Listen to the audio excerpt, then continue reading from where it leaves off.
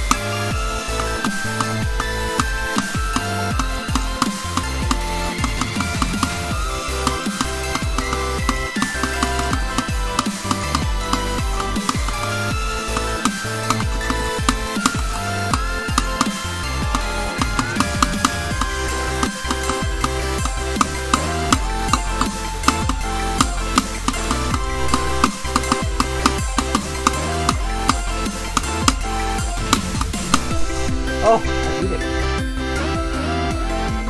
Let's go.